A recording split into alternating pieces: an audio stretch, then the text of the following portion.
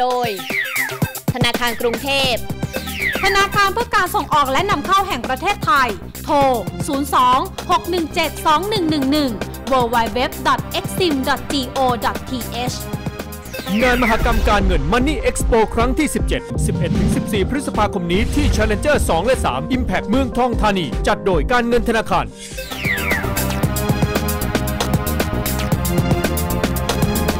ค่ะมาต่อกันที่สหรัฐอเมริกานะคะที่เปิดตลาดเช้านี้ที่นิวยอร์กนะคะอ่าค่อนข้างที่จะมีการขัดแย้งกันระหว่างตัวเลขดัชนีกันเล็กน้อยค่ะเพราะว่านักลงทุนนะคะก็แตค่ะกออกเป็นหลายฝ่ายหลายกลุ่มค่ะ พร้อมทั้งหลาย ๆ คนนะคะยังรอปัจจัยเรื่องของตัวเลขสหรัฐสำคัญสำคัญที่จะมีการประกาศออกมาทยอยทยอยๆนะคะในสัปดาห์นี้ค่ะ เพราะฉะนั้นเนี่ยดัชนีดาวโจนส์นะคะเปิดมาอยู่ในแดนบวก แต่ว่า S&P 500 นั้นเปิดมาอยู่ในแดนลบ แล้วก็สลับขึ้นมาเป็นแดนบวก ส่วนทางด้าน NASDAQ ก็เปิดในแดนลบนะคะแล้วก็สลับขึ้นมาเป็นในแดนบวกนะคะเพราะฉะนั้นจริงๆแล้วเนี่ยคืนนี้นะคะคงจะต้องดูกันยาวๆ หลังจากที่ตัวเลขทางด้านเศรษฐกิจรวมถึงศูนย์ทรพจน์ของบรรดาประธานเฟดสาขาต่างๆนะคะเขามีการพูดคุยกันนะคะอย่างตัวเลขเศรษฐกิจที่สำคัญนะคะก็คือ PMI ภาคการผลิต ประมาณสัก9โมง45 นาทีที่สหรัฐอเมริกานะคะก็จะมีการประกาศออกมา ดัชนีภาคการผลิตของ ISM หลังจากนั้นเพียง 15 นาทีก็จะประกาศออกมาเช่นเดียวกัน รวมถึงการใช้จ่ายเรื่องของการก่อสร้าง ก็จะมีการประกาศออกมาในคืนนี้สำคัญสำคัญทั้งนั้นเลย และที่สำคัญมากไปกว่านั้นค่ะ ทางด้านของเฟดสาขานิวยอร์กนะคะ เฟดสาขาฟิลาเดลเฟีย รวมถึงท่านประธานเฟดเองนะคะ ทางด้านของคุณริชมอนด์นะคะ ก็จะมีการพูดคุยกันกับสื่อมวลชนในค่ำคืนวันนี้ค่ะ ทางด้านของตัวเลขเศรษฐกิจในวันอังคารที่สำคัญก็จะมีตัวเลข deficit ประกาศออกมา ต่อด้วยวันพุธนะคะ PMI ภาคบริการ แล้วก็วันพุธนี่ทางด้านเฟด minute ก็จะมีการประกาศเปิดเผยด้วยนะคะ ตัวเลขการจ้างงานในวันพฤหัสและวันศุกร์ก็สำคัญ พูดง่ายๆคือตลอดทั้งสัปดาห์นี้เนี่ย ขับพิบตากันไม่ได้เลยนะคะ ล่าสุดดัชนีดาวโจนส์นั้นบวกไป 0.02%ค่ะ S&P 500 ลงมาติดลบอีกแล้ว อยู่ที่ติดลบ 0.01%นะคะ แล้วก็ NASDAQ ค่ะ ติดลบ 0.08%ล่าสุดค่ะอ๋ออย่าลืมติดตามเรื่องของการพูดคุยกันระหว่างคุณโดนัลด์ทรัมป์แล้วก็ประธานาธิบดีของประเทศจีนในวันพฤหัสและวันศุกร์กันด้วยค่ะ ค่ะ ไปดูกันต่อนะคะ บรรยากาศการซื้อขายในฝ้าฝั่งของตลาดหุ้นในโซน ยุโรปนะคะบรรยากาศการซื้อขายนั้นก็จับตาเกี่ยวกับนโยบายเศรษฐกิจของนายโดนัลด์ทรัมป์ละค่ะ ล่าสุดก็มีอย่างที่ระบุกันไปนะคะว่าจะไปตรวจสอบดูว่าการขาดดุลการค้ากับ 16 ประเทศนั้น จะเป็นอย่างไรกันบ้าง ท่ามกลางตัวเลขเศรษฐกิจต่างๆนะคะ ที่นักลงทุนนั้นจับตา โดยที่มีประเด็นค่ะของความเคลื่อนไหวนะคะ ยกตัวอย่างเช่นหุ้นในกลุ่มพลังงาน และก็ก๊าซธรรมชาตินะคะ ปรากฏว่าในวันนี้เนี่ยปรับตัวค่อนข้างสดใสค่ะ หลังจากที่มีการเปิดเผยตัวเลขเศรษฐกิจในฝากฝั่งของเอเชีย และก็ยุโรปนั้นออกมาค่อนข้างดูดี แล้วก็ปรับตัวดีขึ้นนะคะ โดยทางด้านของตัวเลขที่อาจจะมีความกังวลอยู่นั่นก็คือหุ้นในกลุ่มสถาบันการเงิน อย่างทางด้านของ Banco Popular ค่ะ เป็นธนาคารของสเปนนะคะ ที่ทางด้านของออดิตหรือว่าผู้ตรวจบัญชีนั้นออกมา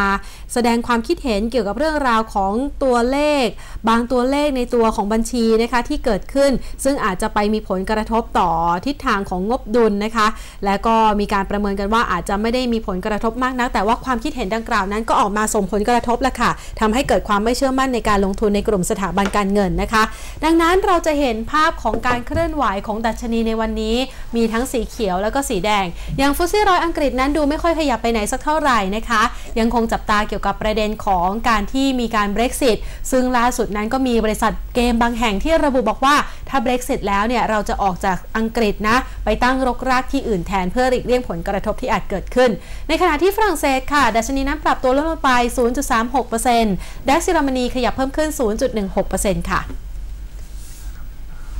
เอาละค่ะ ดูภาพรวมการลงทุนแล้วนะคะ หันมาสำรวจตัวเราเองกันดีกว่านะคะว่าเรา การวางแผนทางด้านการเงินที่ดีหรือเปล่าค่ะ เพราะว่าทางด้านของบริษัทหลักทรัพย์จัดการกองทุน Manulife นะคะเขามีการไปสำรวจค่ะว่า แม้ว่าเราจะมีการวางแผนเรื่องของการเกษียณอายุมีการวางแผนการเงินที่ดีแล้วเนี่ยแต่ก็อาจจะเผชิญกับ ตัวเลขค่าใช้จ่ายที่เพิ่มสูงขึ้นในช่วงวัยเกษียณทำให้การบริหารจัดการทางด้านการเงินนั้นล้มเหลวก็เป็นได้ค่ะ ขนาดวางแผนมาอย่างดีแล้วนะคะ ยังมีโอกาสที่ล้มเหลวได้เลยค่ะ เพราะฉะนั้นทางด้านของผู้บริหารเมนูไลฟ์ประธานเจ้าหน้าที่บริหารหลักทรัพย์ บริษัทหลักทรัพย์จัดการกองทุนแมนูไลฟ์นะคะก็เลยบอกว่าตอนนี้ละค่ะ ถึงเวลาแล้วนะคะที่จะต้องมาวางแผนที่ดี แล้วก็ประมาณเรื่องของค่าใช้จ่ายในช่วงวัยเกษียณให้อย่างแม่นยำค่ะ โดยที่นักลงทุนนะคะ 51%เมื่อเขาไปสำรวจมา ปรากฏว่าเชื่อว่าการออมได้ตามเป้าหมาย หรือว่าเกินเป้าที่ตั้งไว้แล้วนะคะในปัจจุบัน ส่วนอีก 79%ค่ะ เชื่อว่าเมื่อเกษียณนั้นจะมีชีวิตที่ดีกว่าปัจจุบันค่ะ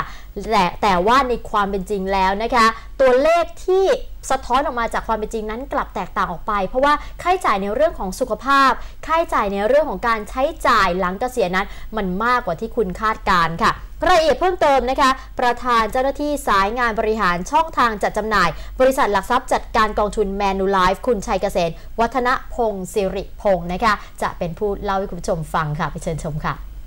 การเกษียณนะครับกว่าครึ่งหนึ่งเนี่ยอาจจะยังไม่พร้อมที่จะเกษียณนะครับ โดยที่อาจจะมีความท้าทายใน 2-3 ปัจจัยนะครับ ปัจจัยหลัก ๆ ปัจจัยที่ 1 ก็คือเรื่องของสุขภาพ แล้วก็การใช้จ่ายด้านการรักษาพยาบาลในอนาคตนะครับ ซึ่งจากผลสำรวจของเราเนี่ยมากกว่าครึ่งหนึ่งนะครับไม่มีความมั่นใจว่าจะสามารถชำระค่าใช้จ่ายด้านสุขภาพได้ในอนาคตนะครับ ปัจจัยที่ 2 ก็คือเรื่องของการความรับผิดชอบทางด้านของครอบครัว เช่น การดูแลพ่อแม่แล้วก็ดูแลลูกๆนะครับ รวมไปถึงการดูแลตัวเองด้วยนะครับ อันนี้ก็จะเป็นปัจจัยที่ 2 ที่จะเป็นความรับผิดชอบทางการเงินที่จะเกิดขึ้นนะครับในช่วงเกษียณของหลาย ๆ ท่าน ส่วนปัจจัยที่ 3 เป็นปัจจัยที่อีกปัจจัยหนึ่งที่สำคัญปัจจัยสุดท้ายนะครับ ก็คือเรื่องของสินเชื่อบ้านและที่อยู่อาศัย ซึ่งหลายคนก็มองว่า การช่วงของวัยเกษียณเนี่ยก็ยังมีความรับผิดชอบทางด้านการชำระหนี้บ้านหนี้ที่อยู่อาศัยอยู่นะครับ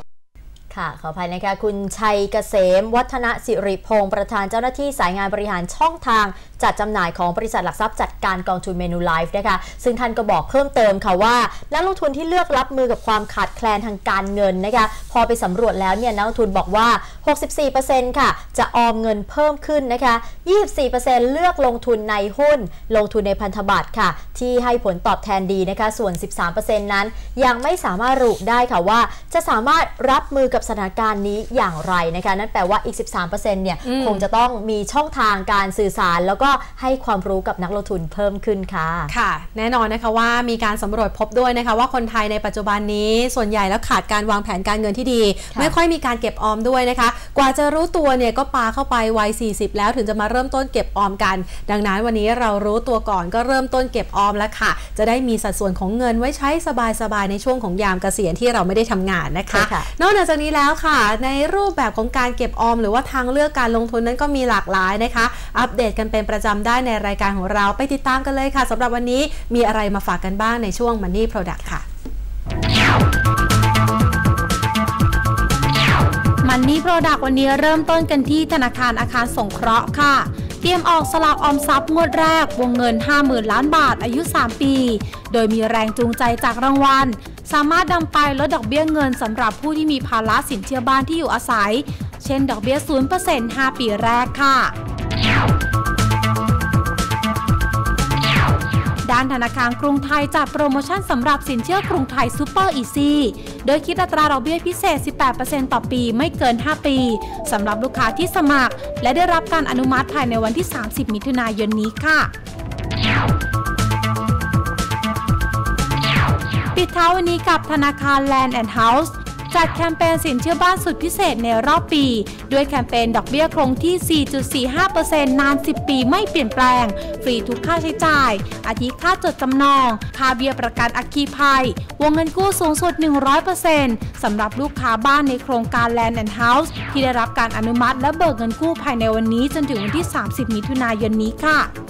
อย่าลืมนะคะว่าการลงทุนมีความเสี่ยง ผู้ลงทุนควรศึกษาข้อมูลก่อนการตัดสินใจลงทุนทุกครั้งค่ะ